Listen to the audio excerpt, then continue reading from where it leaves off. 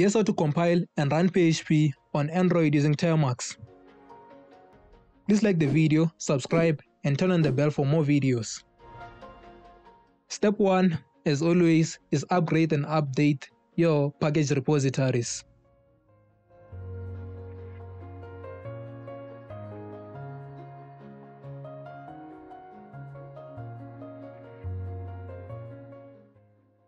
Then install Nano. We'll use this to write the code. When you're done, install PHP by running the command pkg install php.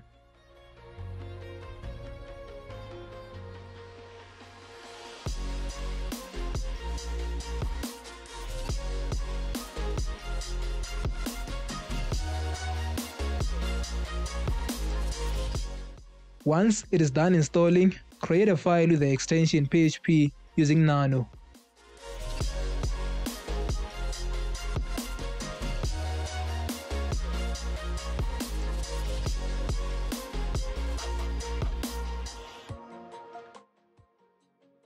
Write some PHP code into it. I'll just use the echo command to print some text into the screen.